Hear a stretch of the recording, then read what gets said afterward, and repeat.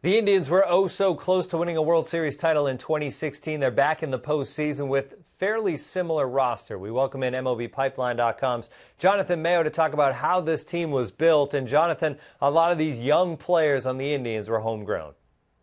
Yeah, they, they've done a really good job uh, in scouting and developing both domestically and abroad. And obviously, uh, you have to look back at uh, 2011 as kind of a key moment. Uh, they were able to get Francisco Lindor in the first round, and he's kind of uh, uh, the, the glue to that team already. Uh, but they also got Cody Allen much later in that draft. They signed Jose Ramirez in the international front uh, the same year. So uh, three extremely important all-star caliber players all coming from the, their amateur efforts back in 2011.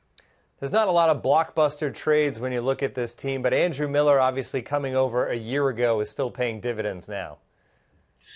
Yeah, yeah, you could certainly say that uh, was so lights out in the postseason uh, a year ago, and then uh, kept it going uh, during the regular season this year. Getting him back uh, is, is, huge, and uh, his ability to to shut down lefty and righty hitters, go multiple innings if need be.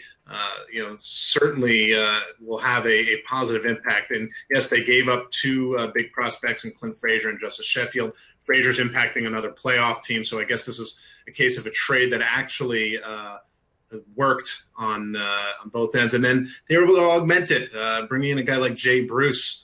Uh, may not seem like a huge deal, uh, but it, uh, he has certainly helped out, especially with injuries that they've suffered to their outfield. Sometimes in the free agent market, the best thing to do is to be patient. The Indians did that last offseason, and they ended up with Edwin Encarnacion.